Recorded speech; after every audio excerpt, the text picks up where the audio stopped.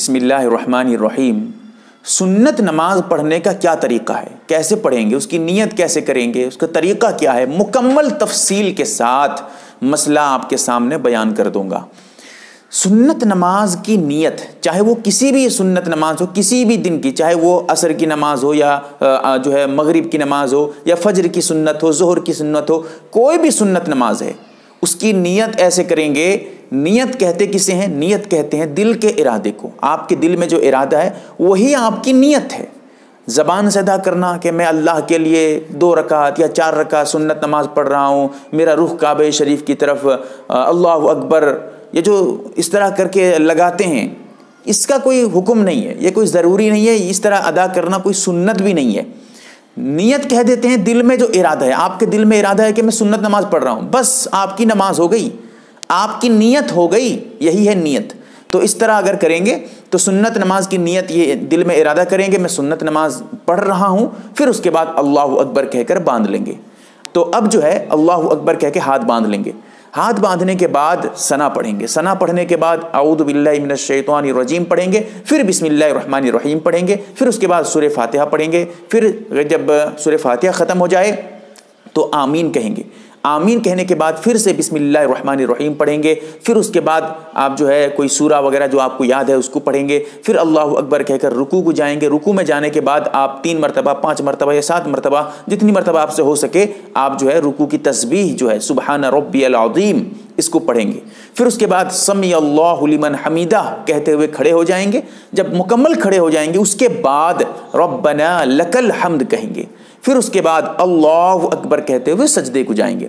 سجدہ کریں گے، سجدے میں جو ہے وہی تسبیح جو ہے سبحان ربی العلیٰ اس کو تین مرتبہ، پانچ مرتبہ سات مرتبہ جو بھی آپ سے ہو سکے پڑھیں گے۔ پھر اس کے بعد اللہ اکبر کہتے ہوئے بیٹھ جائیں گے۔ ایک سجدہ آپ کا ادا ہو گیا۔ پھر سے بیٹھنے کے بعد اچھی طرح بیٹھ جائیں گے۔ پھر اس کے بعد اللہ اللہ اکبر کہتے ہوئے دوسرے سجدے کو جائیں گے۔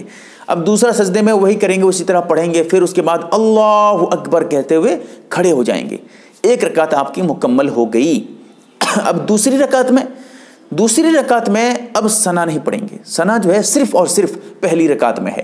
دوسری رکعت میں جو ابتدا کریں گے، دوسری رکعت میں بسم اللہ الرحمن الرحیم پڑھیں گے، اب جو ہے اس کے بعد سورہ فاتحہ پڑھیں گے۔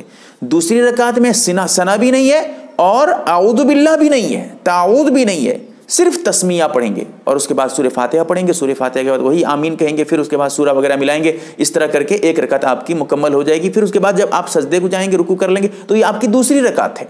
تو دوسری رکعت جو ہے، جب آپ چلے جائیں گے سجدے کو، تو اب جو ہے آپ کی دوسری رکعت ہو گئی۔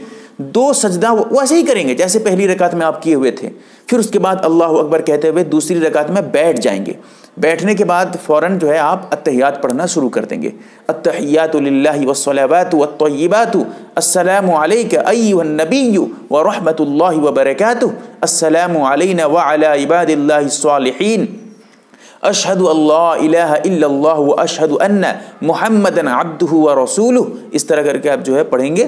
یعنی اتحیات پڑھیں گے۔ اتحیات پڑھنے کے بعد اگر آپ کی دو رکعت سنت نماز تھی، تو پھر جو ہے آپ اور آگے جو ہے درود شریف پڑھیں گے۔ اللہ صلی علیہ نے درود ابراہیمی جو ہے، اس کو پڑھیں گے۔ پھر اس کے بعد ماں دعائے معصورہ پڑھیں گے۔ کوئی بھی دعا ہو، چاہے ربنا آتنا ہو یا اللہ انی ظلم تو نفسی ہو، کوئی سی بھی دعا جو ہے آخر میں پڑھیں گے۔ پھر اس کے بعد السلام علیکم ورحمۃ اللہ کہتے ہوئے سلام پھیر دیں گے دائنی طرف، پھر اس کے بعد بائیں طرف سلام پھیریں گے۔ یہ دو رکعت ہے۔ اگر آپ چار رکعت سنت نماز پڑھ رہے ہیں، کیونکہ سنت نماز تو تین رکعت ہے ہی نہیں، چار رکعت ہے۔ تو جب چار رکعت ہے تو آپ دوسری رکعت میں صرف اور صرف اتحیات پڑھ کر سیدھے کھڑے ہو جائیں گے۔